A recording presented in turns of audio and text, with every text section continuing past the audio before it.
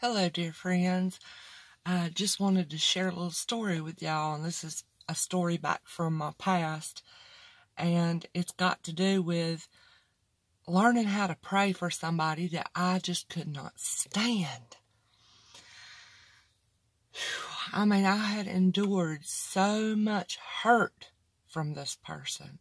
Now, I'm not giving any advice on you know, somebody that's dealing with physical abuse or this or that and the other. No, that's something, you know, that's for you to do and what you believe is the right thing to do. But I'm more talking about with this person, it was somebody that was verbally abusive, slurs, um, constantly humiliating me every time I turn around, making me feel bad as a mother you know, just belittling me. Um, and I and I talked with a dear friend today and was kind of sharing a little bit about things like this, and it just got me thinking. And I thought, you know, I'm going to kind of share this little story just to show how the Lord worked in this situation for me. And He's not partial, and He doesn't show favoritism. And His word is for you.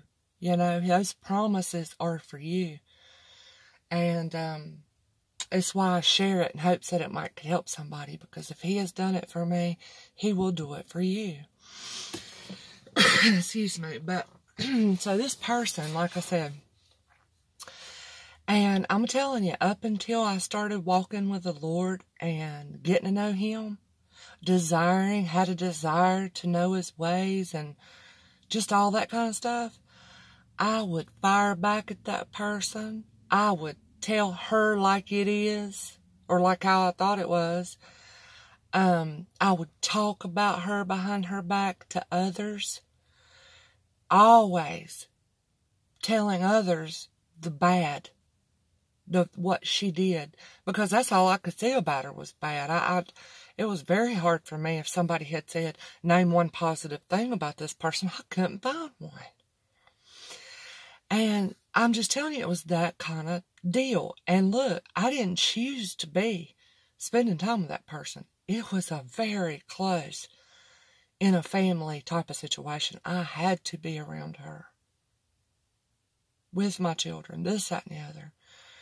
And, you know, I mean, how many times did I cry and how many times I'm just telling you it was bad. So this have you got anybody in your life like that? Maybe it's not as bad or maybe it's even worse. But this is just be for you to think about. So what started happening was here I am reading his word and trying to figure out how to do his word. You know? And so I saw right there in the scripture very plainly, pray for your enemy. And so I said, okay, Lord, here I am. I mean, this person feels like my biggest enemy. You know, I mean, it's every time I turn around, hurting me, bad mouthing me, talking about me to others, you name it. And so, Lord, I want to try to pray for this person. And the Lord knew the sincerity of my heart, you know, and He knows yours. And as far as I could, and the best I knew how, I was trying to pray for this person. And, you know, mainly my prayers back then was, Lord, please show this person how mean they are to me. You know, please show them how bad they hurt me, Lord. Those were my prayers. And, and you know, I would just say, all right, I don't even know. I don't even know if I and I would say, like, um, please, Lord, show them who you are. Let them get to know you. Give them a new heart. Things like that. And then I would finish with the prayer and look up to heaven and really not know if I really meant it. I didn't because my feelings and emotions and everything were opposite of what I was trying to do, which was follow the scripture that said, pray for your enemies. And so I would even say, Lord, you know, I, I, feel like a hypocrite. I don't know if I mean this. I, I don't know if I do. Only you do. But I'm trying, Lord. I, I, my feelings and emotions aren't lining up with this. I, I've got anger in my heart towards this person.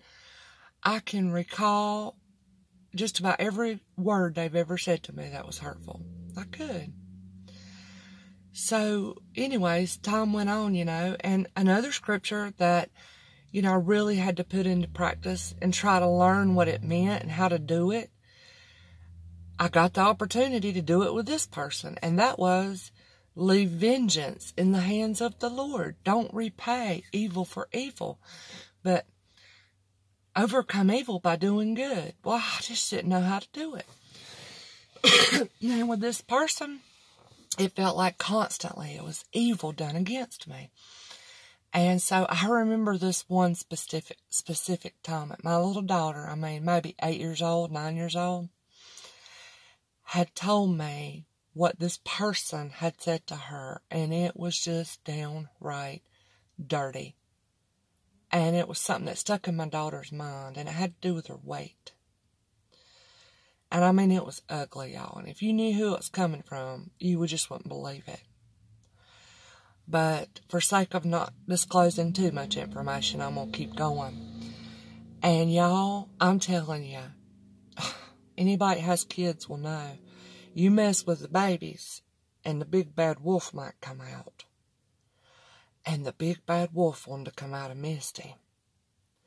I wanted to pull up in that person's driveway and wring her neck, tell her off. I mean, that's just the truth. But I said, Lord, I, I remember the prayer. Uh, Lord, if you don't help me, I'm going to let my mouth fly. I'm going to tell her off. This ain't right. Lord, how can this, how can I just sit by and be still and just quietly talk to you about this when this has happened? It was just huge to me, y'all. I said, Lord, please help me, or I'm gonna, I'm gonna, I'm gonna do what you say is not right, which is human anger does not produce the righteousness that God desires. And I wanted to not act out of anger, and I wanted to pray. I wanted to do the right thing. But, and many times, y'all, I failed in that. Many times I did, you know, clap back. Many times I did this, that, or the other. But I, I'm just kind of saying this was the struggle of messing up, falling down. Lord, help me. I didn't handle that right. Please forgive me. Please help me. And then the next time it happened, because it happened often, going to Him, praying for this person.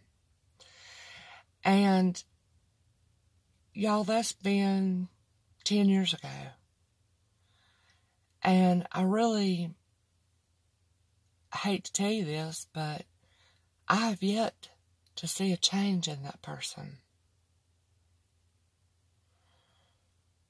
But I have seen the greatest change in myself. All by the Lord's doing.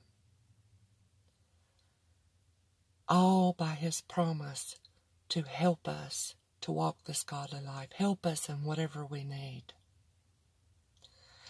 And two, another thing that really happened was that the Lord started to show me how wounded and hurt that this person was, how wrong they had been done in their life, and, you know, in just different ways you would think was a coincidence.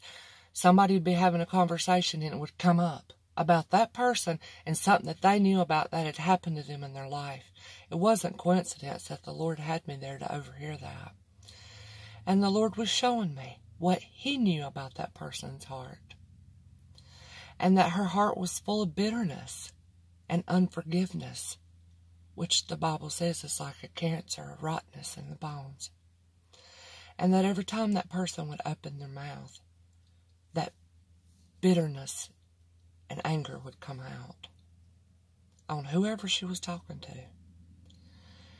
And, you know, the Lord showing me that helped me to pray more for her heart you know, that she would be able to talk with the Lord about her hurts and wounds and this and that and be able to truly forgive and not hold grudges, all this kind of thing.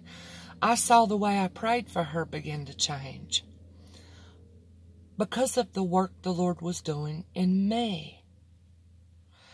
That would have never happened had this person not been in my life. And so I found that the very person that was allowed into my life to hurt me and wound me is the very person the Lord used to grow me up in Him also.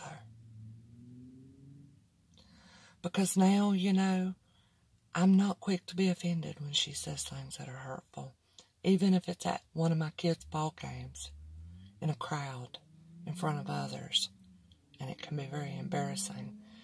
And I bring up that example because it's happened more than once. I'm able to let it roll off my back. And I actually feel sorry for her. I'm able to forgive more easily. I'm able to pray for my enemy more so than I used to be. not telling you these things to make myself look good. I'm telling you how good He is and how faithful He is to His promises.